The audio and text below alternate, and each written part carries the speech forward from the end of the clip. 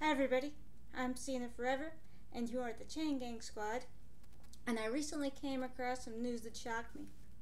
Artem Chigvintsev, Nikki Bella's husband, has been arrested for domestic violence. He was arrested today, shortly before 10 a.m., in Napa in a town called Yountville. It said that he was arrested on the spot and that there were injuries reported and that the victim has requested total confidentiality, which I think we can all guess who the victim is because of who he's married to. And um, this isn't about my feelings towards her. Domestic violence is not okay. Man, woman, boyfriend, girlfriend, husband, wife, never okay. But uh, that's all the information I know for now. I'll leave a link to the article in the description box if you guys want to read it. Uh, like I said, I'm totally shocked by this. I never pegged him as the type to be that kind of person.